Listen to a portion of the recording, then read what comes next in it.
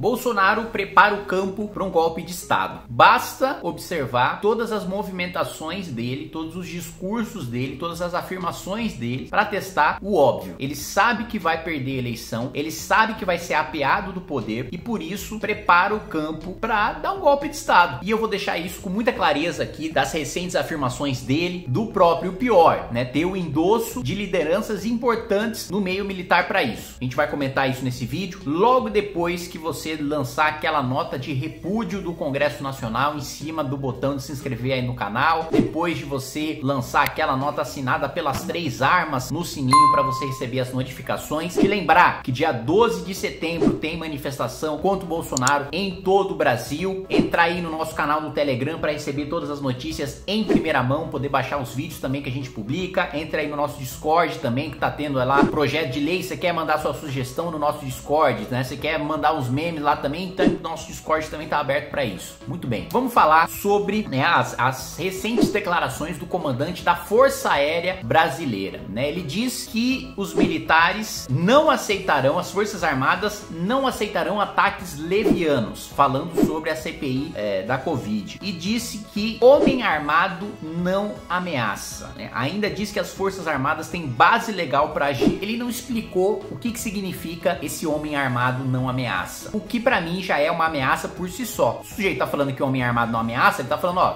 que o cara que tá armado ele não ameaça, ele parte logo pra ação. E as Forças Armadas, né, são os homens armados. Tá com muita clareza para mim que o sujeito tá ameaçando o regime democrático.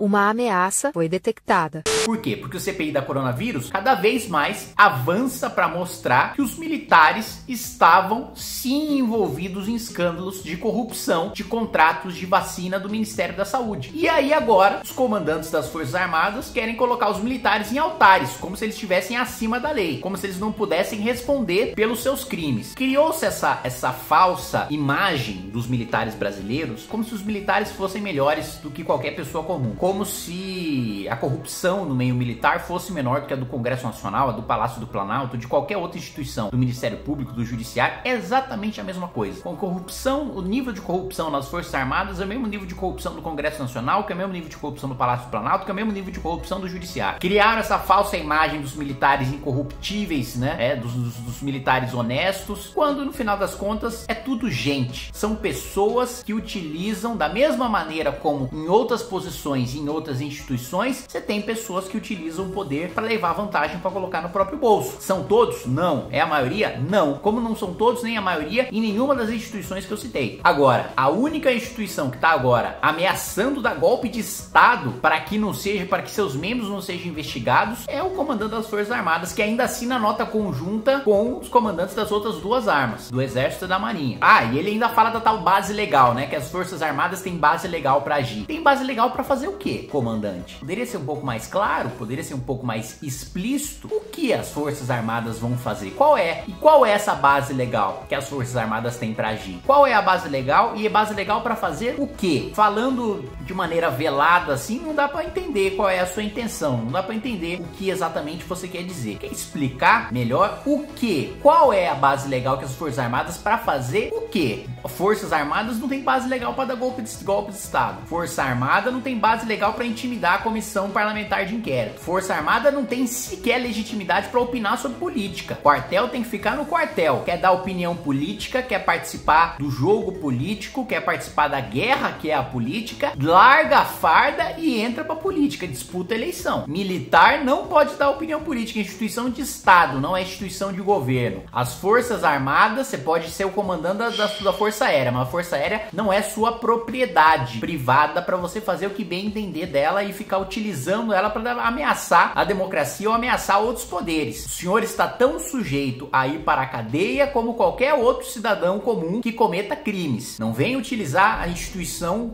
a instituição que você representa, eventualmente, conjunturalmente, representa hoje, deixará de representar no futuro, só para deixar claro que as instituições permanecem, que as pessoas são passageiras, mas não utilize a sua função institucional para fazer política, porque militar não tem esse direito direito. Quer ter esse direito? Deixa de ser militar. Muito bem. Para corroborar esse discurso golpista, né, do comandante da Força Aérea, vem o Bolsonaro, vem com aquele discurso maluco, né, com um discurso meio Dilma. Aliás, vou até pedir pro editor colocar aí para vocês que o Bolsonaro falou dos 271 átomos da Terra, de não sei o que. É até engraçado, me lembra que o Bolsonaro dizia, né, olha, eu tô preparado, se diz que eu não tô preparado para governar o Brasil, me coloca numa sala no ENEM e se eu não tirar mais do que o Lula, que é a Dilma, eu não tô preparado. Como se, né, o ENEM fosse exame de presidente da República, né? Su o sujeito acha que um, um, desempenho razoável dele num exame de ensino médio deixa ele no patamar preparado para disputar a presidência da República. Mas tudo bem, né? Aí ele diz que, que, diz que é o negócio do ensino médio e tal, e na hora do vamos ver, passa essa, essa vergonha aí dizendo o que diz. Coloca aí, editor.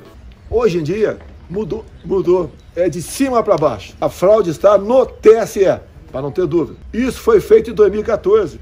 Em 2014 se mostrou a apuração minuto a minuto. E, e, minuto a minuto, no segundo turno do Aécio Neves, começou a Aécio Neves lá em cima, a Dilma lá embaixo. E com o tempo, né, essas curvas foram se cruzando até que se estabilizaram na horizontal com a Dilma na frente. Agora, o minuto a minuto, por 271 vezes consecutivas, dá para imaginar? 271 minutos, minuto a minuto, dá 4 horas e pouco, minuto a minuto. Depois que as curvas se tocaram, tá? é, ou melhor, momentos antes da curva se tocar, era Dilma ganhou, Aécio ganhou, Dilma ganhou, Aécio ganhou, por 270 e uma vez é você jogar uma moeda 271 para cima e da cara, coroa, cara, coroa, cara, coroa. E isso deve ser a quantidade de átomos aqui no, na Terra. Então isso é fraude. Em nenhum momento de sua dissertação incoerente, o senhor chegou perto do que pudesse ser considerado um pensamento racional. Todos neste salão estão mais burros por terem escutado isso.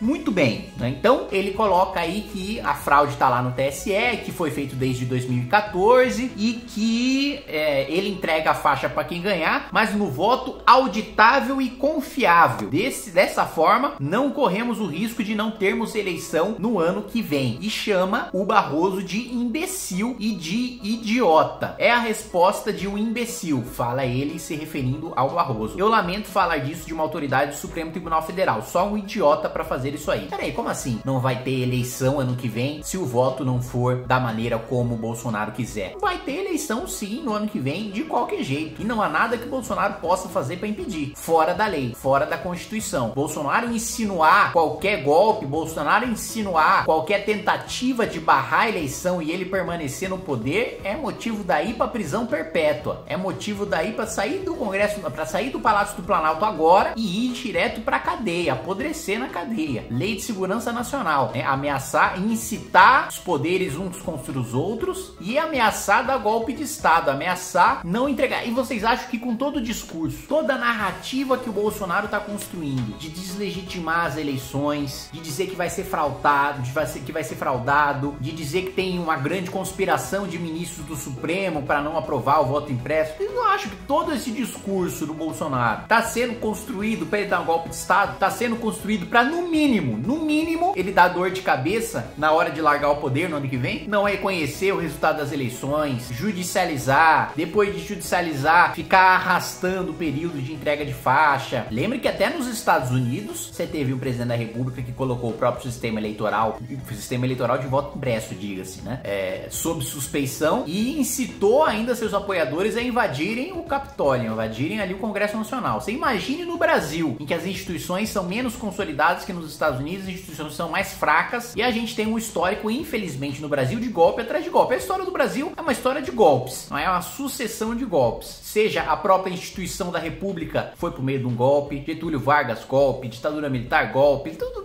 sucessão de golpe. Então a gente não tem as mesmas instituições, a gente não tem a mesma solidez institucional que os Estados Unidos têm. Mas a gente tem um sujeito mais maluco aqui ainda e por isso ele precisa ser apeado imediatamente do poder. Por isso que a gente precisa acabar com o governo Bolsonaro, tirando o Bolsonaro do poder via impeachment. E imediatamente, cada dia que esse sujeito passa no poder, não é só mais um dia de destruição da nossa economia, não é só mais um dia de morticínio em razão, da pandemia, é um dia de ameaça à própria existência da nossa democracia. E aí, meu amigo, quando você parte, né, para vale tudo institucional, não tem, é um caminho sem volta. É caminho de Venezuela. As instituições nunca mais voltam a ser como eram. Aí a credibilidade do país vai pro lixo, aí é inflação, aí é miséria, aí é juros disparando, aí é dólar em mercado negro. Não tem volta, meus amigos. Caminho de retrocesso institucional não tem volta. Pelo menos não tem volta no período de, de, de vida humana, né? Tem volta em próximas gerações. Esse retrocesso a gente não pode admitir em hipótese nenhuma. A gente não pode admitir em hipótese nenhuma. Tentativa de dar golpe de Estado, criando narrativa, já sabe que vai tomar um pau nas eleições, vai perder o rumo de casa. Já sabe que vai tomar um cacete na eleição. Que bancada bolsonarista vai sumir do Congresso Nacional, que Bolsonaro vai ser humilhado nas urnas, perigando não ir sequer pro segundo turno. E vai vir com esse discursinho de que foi fraudado, de que teve golpe. Felizmente, houve já alguma resposta, alguma resposta de atores políticos importantes nesse processo. O Mourão disse: eleição vai haver, eu garanto. Respondendo a essa, essa afirmação do Bolsonaro de que se não tiver o voto papapi papapá, ano que vem não tem eleição. Pacheco,